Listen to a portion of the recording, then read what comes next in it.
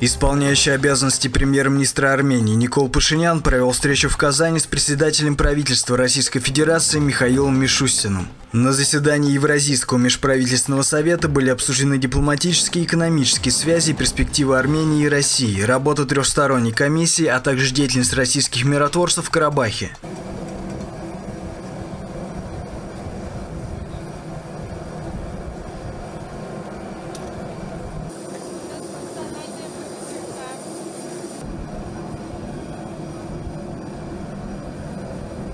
Прежде всего хочу передать вам теплый привет и наилучшие пожелания от президента России Владимира Владимировича Путина. И хочу сказать, что мы дорожим братскими отношениями с Арменией.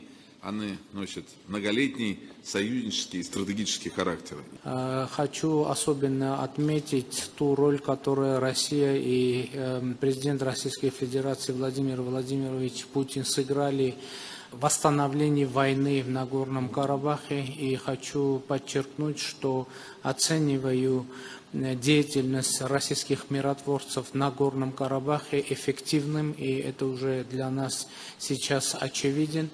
Э, хочу э, еще отметить, что да, вы правильно заметили, у нас идет работа трехсторонней комиссии которые возглавляют вице-премьеры э, Российской Федерации, Армении и Азербайджана.